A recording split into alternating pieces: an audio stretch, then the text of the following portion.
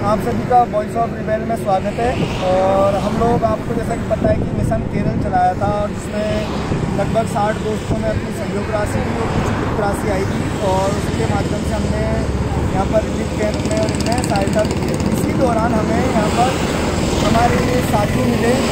और जहाँ से हम सामान परचेज कर रहे थे जिस मॉल से तो इन्होंने हमें सुबह से ही यहाँ पर सब कैंप को ये चीज़ दिखाया तो अब हम इनसे जानना चाहेंगे एक तो सर जब बाढ़ आई तो यहाँ पर कैसे लोगों ने खुद को कंट्रोल किया कैसे बाढ़ आया था तो फिर जो सब लोग बोलते हैं जो डैम एक साथ खोलने से बाढ़ आया लेकिन एक डैम का था एक ही ए, एक है पॉइंट है बट वो डैम ओपन करने से इतना ज़्यादा बड़ा फ्लड नहीं हो सकता है। वो एक अभी जो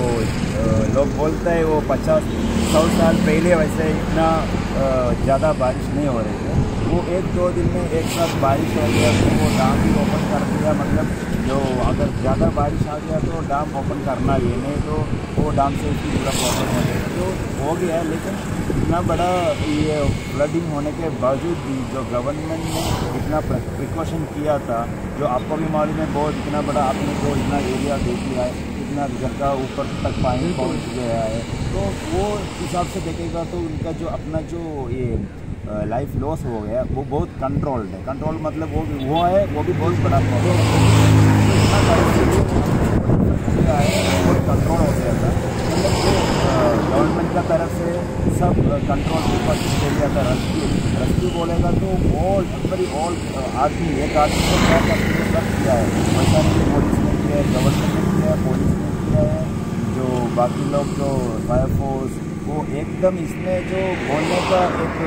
मेन बात क्या है तो इन लोग आपको मालूम है fisherman fisherman around seventy thousand आदमी लोगों को रेस्क्यू किया है, जो जहाँ जहाँ अंदर घुस गया है, वो बोट लेके, अपना खुद का बोट लेके आके, वो बहुत बड़ा काम इसमें केरला में हुआ है। नॉर्मल फिशरमैन आर्मी भी था नेवी भी था बट जो हाईलाइट किया है, उन लोग सब जो ये फिशरमैन का जो केरला को मिला है, वो इसमें बहुत ज़्यादा लोगों को लाइफ सेव है। और लोगों ने इस दौरान धर्म और जाति से ऊपर उठ के भी काम किए होंगे। इसके बारे में यानी क्या जैसा आपने बताया था हमें जब जा रहे थे कि मंदिर मस्जिद और चर्च के बारे में चार चर्च के बारे में बता रहे थे कि किस तरीके से वहाँ भी लोगों ने धर्म और इनसे भी ऊपर उठकर मदद की लोगों को। हाँ, सिचुएशन आ रहा है इसके मतलब जो कोई धर्म जो कौन हाथ पकड़ रहे वो किसी का नाम नहीं पूछता है वो कौन है मालूम नहीं है लेकिन हर आदमी जो जहाँ पे रह सकते हैं। मंदिर है तो मंदिर, मस्जिद तो मस्जिद चर्च है तो चर्च वो सब इधर केरला में जो आपने जो बोलते हैं, वो नॉर्मली अपना रिलीजन कास्ट का ऐसा इन्फ्लुएंस नहीं है नॉर्मली वो इसलिए तो केरला आपको सेपरेट एक जैसा एक स्टेट आपको भी अभी अपना जगह जगह जाएगा आप चर्च में अंदर है, वो घर के अंदर है, मंदिर जो बहुत वॉल्टियर्स लोग आ जाता जो मुसलमान जाके मंदिर मंदिर दिया है वो उसमें कोई मतलब जो ऐसा वाला नो ये नॉट ओनली प्रॉब्लम के हिसाब से नॉर्मली जो नाम चाहिए बस ज़्यादा not no nothing is Kerala everybody put hand together तो ऐसे हमने इसमें जो बाहर आया है। सवाल कहते हैं कि केरल साठ साल पीछे चले गया, लेकिन हमने जिस तरीके से ऑब्ज़र्व किया है उसके बाद हमें नहीं लगता है कि केरला साठ साल पीछे गया, क्योंकि यहाँ के लोगों की एक पावर है। वो खुद को रिबिल्ड करना चाहते हैं। तो उसके बारे में थोड़ा सा इसमें ना जो इतना बड़ा प्रॉब्लम होने के टाइम में अपना एक, उनका जो कॉन्फिडेंस है, उनका जो कॉन्फिडेंस है वो अपना मेनली सब लोग इकट्ठा हो गया तभी मेनली इसका जो लीडर जो अपना वो सबको इतना नहीं नहीं नहीं होगा, हम लोग ले लेंगे हम लोग वापस आएँगे। हर एक दिन में वो बोलते अभी सब लोग मिलकर जो देखो contribution C M R fund में आ जाता है जो हेल्पिंग आता है कॉन्ट्रीब्यूशन आता है, जो आपने देखा, हम लोग जाते समय सब सब इकट्ठा होते इस इस मामला में वैसे हम लोग जाएँगे, वो ऐसे जाएगा, वही लीडरशिप में जाएगा तो within six month one year हम लोग will be back better than old Kerala so और एक चीज़ ये जो लोगों ने हेल्प की है यानी कि